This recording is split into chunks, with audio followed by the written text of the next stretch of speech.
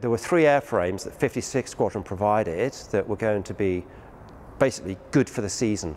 We had to look at jets that had a good reliability record. We had mm. to hmm. look at jets that weren't going to get dragged out in June, July for a major servicing uh, and all that sort of stuff. Um, so having flown the jets and really put them through the paces, Matt chose ZE732, which was the jet's Alpha Sierra.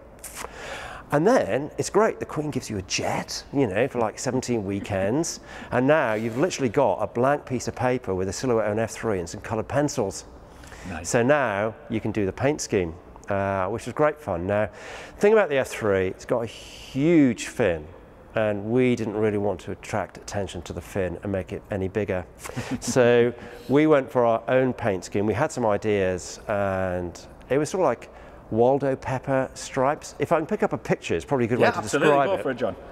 So that was the scheme. So what we wanted to do was accentuate the dart shape like sort of outline of this aircraft. So we painted the outer bits of the ailerons in red and then we had these red sort of like Waldo pepper stripes on the wing.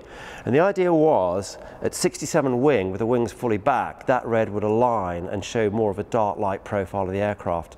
And we had this on the top and the bottom surface of the wings.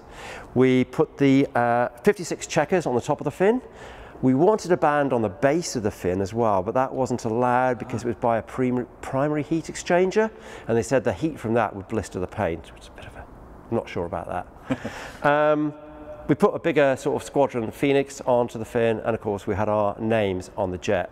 The jet went into the paint shop. That was a three-week job. Really? The paint people were magnificent, wow. superb. This is a big job, you know, it's extra to their normal stuff. So they had some beers.